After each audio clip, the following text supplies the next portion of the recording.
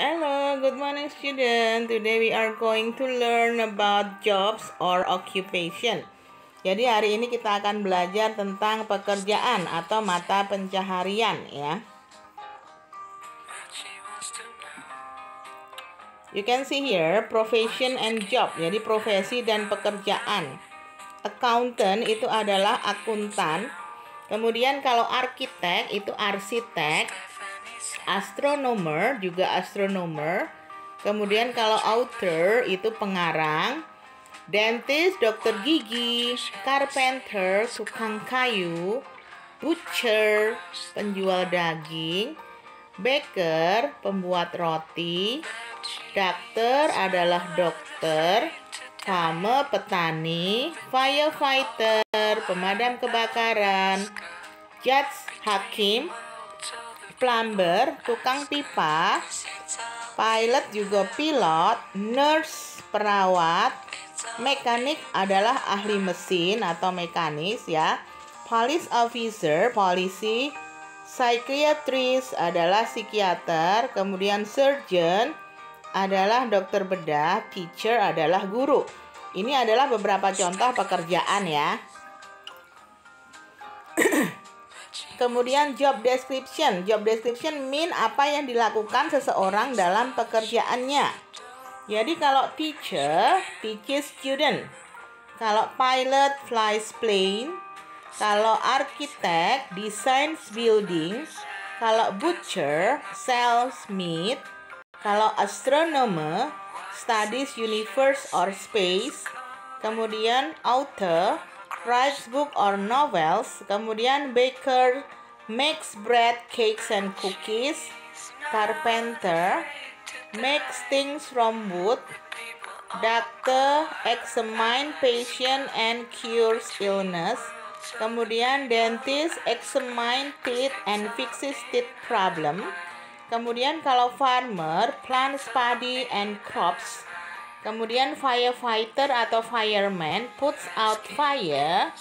Kemudian kalau nurse looks after six people.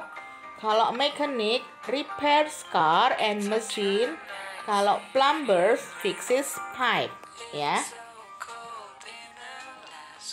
Jadi kalau untuk language fokusnya, untuk menanyakan pekerjaan seseorang, kalian boleh bertanya, what is his atau her job?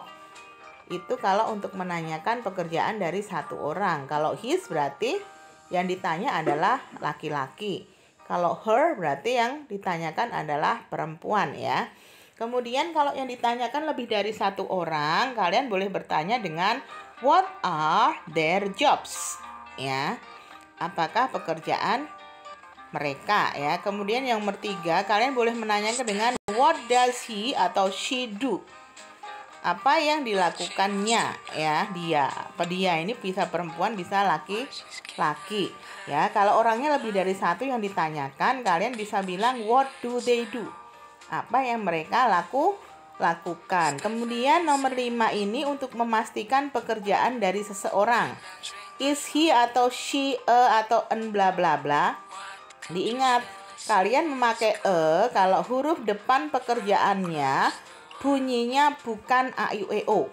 Ya kalian memakai en kalau huruf depan pekerjaannya berbunyi a i u e o. Kemudian yang nomor 6 itu untuk memastikan pekerjaan lebih dari satu orang. Are they bla bla bla ya. Kemudian yang kedua to ask about job description. Jadi untuk menanyakan tentang apa yang dilakukan atau deskripsi dari pekerjaannya. What does a bla bla bla do? Apa yang dilakukan titik-titik atau what do titik-titik do. Jadi yang pertama ini untuk menanyakan deskripsi pekerjaan dari satu pekerjaan. Kalau nomor dua untuk menanyakan deskripsi pekerjaan lebih dari satu pekerjaan ya. Contohnya ya, ini lagi untuk menanyakan tentang workplace, tempat kerjanya. Where does a atau an work? Where do titik-titik work? Ini untuk menanyakan tempat kerjanya ya. Contohnya, what is his job? He is a mechanic. What are their jobs? They are nurses. Ingat, kalau ada what are pakai there, nanti pekerjaannya ditambah s di belakangnya ya. Kemudian yang nomor tiga, is she a doctor? Yes, she is atau no, she isn't. Kemudian nomor empat, are they teachers? Yes, they are atau no, they aren't. Kemudian nomor lima tentang deskripsi pekerjaan. What does a mechanic do? He repairs car. Kemudian tempat kerja. Where does a mechanic work? Ya, in the workshop or gas station. Jadi diingat-ingat hari ini tadi kalian belajar tentang kosakata pekerjaan, nama-nama pekerjaan, kemudian job description ya atau deskripsi dari pekerjaan, apa yang dilakukan seseorang dalam pekerjaannya, kemudian cara menanyakan pekerjaan seseorang, dan cara menanyakan deskripsi pekerjaan seseorang serta tempat kerja dari seseorang ya. Jadi nanti kalian pelajari lagi di rumah, dipelajari kosakata yang baru dan cara menanyakan pekerjaan ya. Oke, okay, I think that's all our lesson for today. Thank you for your attention. See you next time. Goodbye.